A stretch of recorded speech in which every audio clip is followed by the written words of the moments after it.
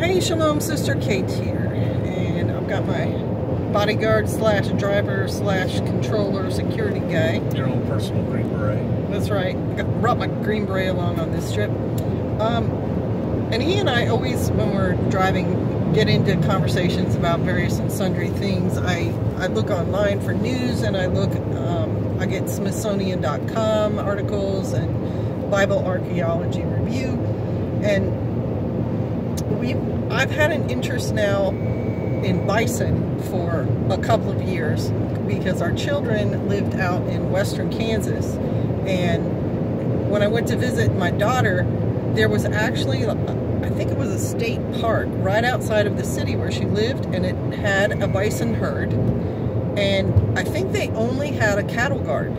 So you drove over this cattle guard and then they had some fencing but it certainly wasn't like chain link fence and, you know, super secure and you had to open a gate or anything. You just drove through and then you could follow the road and see the bison herd. And so I did a, I did a video on them. I think it's called Are You Prepared for This? And it showed them just walking up. And I'm sure it had something to do with the vehicle we were in and the fact that um, the rangers or whoever helps take care of them probably bring out grain or salt or something occasionally because they knew when the vehicle came something could happen so they, they showed up.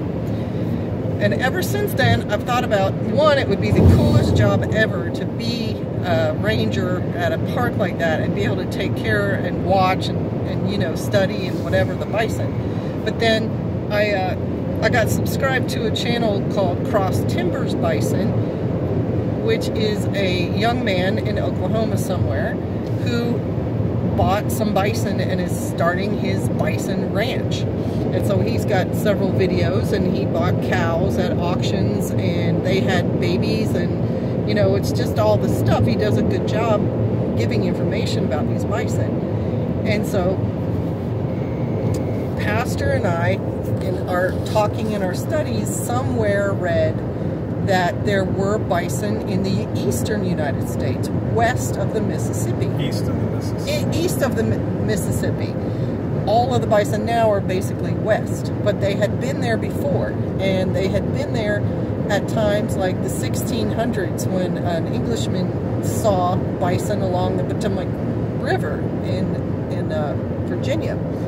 And other people report bison in Florida in the 1600s and bison in, you know, New York.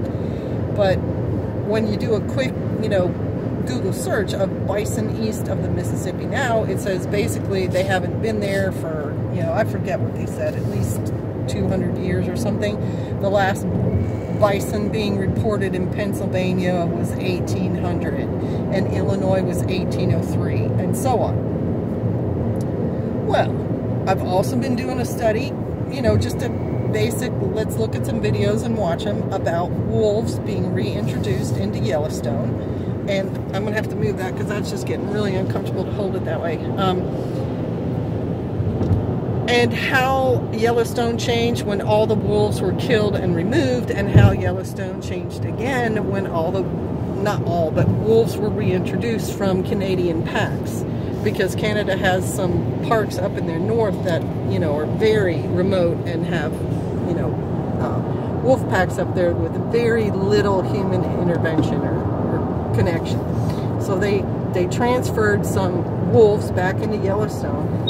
And I forget when that was. I mean, it was pretty recent. Maybe the 80s, maybe the 90s.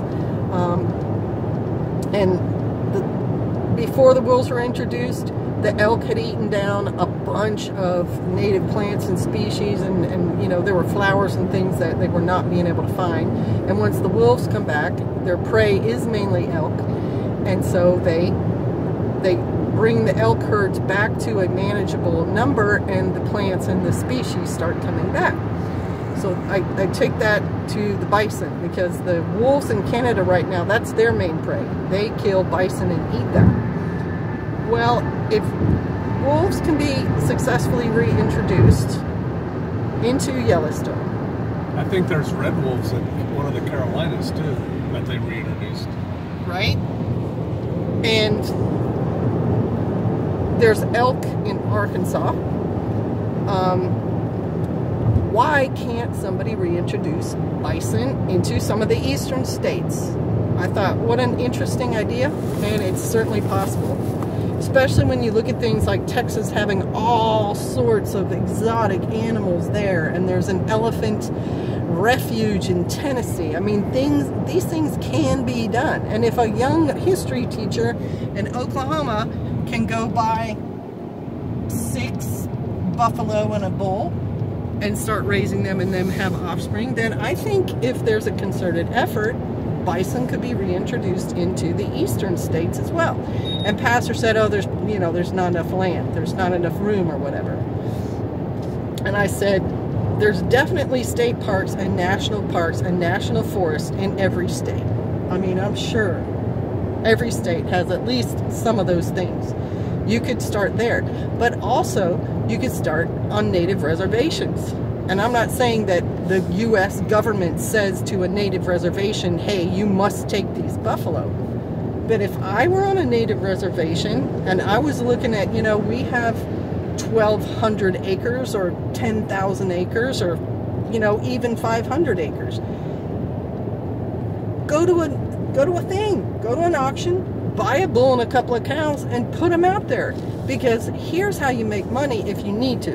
And I'm not saying you have to but it's it can be, you know, a self-sustaining um, operation. Operation that can help whoever decides they're going to do it because hunters would pay to do a buffalo hunt. And then Pastor was telling me about a guy he was traveling with who did that very thing, went to a dude ranch somewhere, dressed like a cowboy, had to use or used a Sharps buffalo rifle and shot a buffalo and he swore it was the pinnacle of all the experiences in his life. And there are plenty of other hunters I know who would pay big money. Or imagine getting one with a spear that you made. Or a bow and arrow. Right. Right? I mean, you could make that experience as big as you want it. And again, I'm not saying, you know, just raise the buffalo to have them sold off. No, of course you manage your buffalo herd. You have your, you know, your bull and your cows that produce babies for you. And every year, I'm telling you, as someone who raised goats, when you get too many male offspring, you get too many roosters. Look at Bear Bear Independence video, recent video about, you know, they had to shoot a bunch of roosters and they were eating them and we've done that. You know, crock pot and fried rooster and rooster wing and everything else. When you get too many male offspring, like the China. billy goats. Stop. Like the billy goats. One billy goat. If you've been around a billy goat, one is enough. They stink really bad and they're strong and they'll do things like knock your fence down if you don't build it right and, you know, just cause a whole lot of trouble. So if you had 10 billy goats, oh my gosh, you would have the stinkiest, hardest, it would be awful. Well, imagine buffalo now you have your herd and your 25 cows give birth and half of them are bulls. You have 12 bulls. Why can't we not drive the speed limit? I don't know, Pastor, but your extra bulls could be the animals that you keep separate because they're going to separate themselves anyway. They're going to fight and the young bulls are going to go off and form their own herd and blah, blah, blah. Those can be the ones that you allow people to pay to hunt and imagine hunting a buffalo in a forest in like New York state.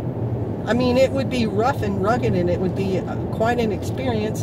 And just like a cow, it's, you know, 12, 1500, 2000 pounds of meat. And the, I think Pastor was saying some people pay how much money to hunt a deer Texas? Oh, $70,000. $70,000 to get a deer with antlers on it. Big antlers. Big antlers. Come on. Can you imagine if you said, I can guarantee that there are 10 buffalo out there and for $100,000 you can ride out there on a horse and shoot one of them. It would work. It could happen. So there, there's a free idea for you to make money. There's an idea for anyone who knows anybody in a national forest, national state park job, hunting groups. If you've got a state hunting group that you go to, say, hey, you know, what do you think about this buffalo idea? Somebody's going to make money off of it, and I would love to see buffalo in the eastern forest. When we take our trips and stuff, I think it would be the coolest thing in the world to drive around and see them there. All right, bless you. Thanks for listening. Shalom.